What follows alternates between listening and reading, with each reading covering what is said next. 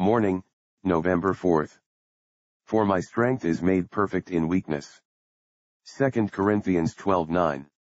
A primary qualification for serving God with any amount of success, and for doing God's work well and triumphantly, is a sense of our own weakness.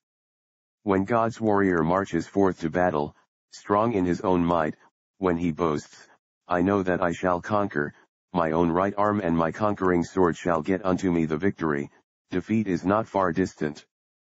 God will not go forth with that man who marches in his own strength.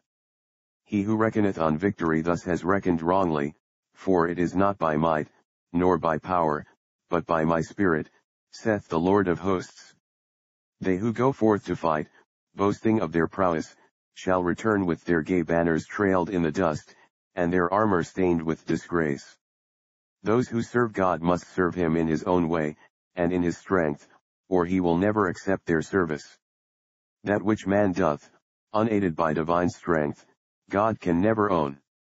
The mere fruits of the earth he casteth away, he will only reap that corn, the seed of which was sown from heaven, watered by grace, and ripened by the sun of divine love.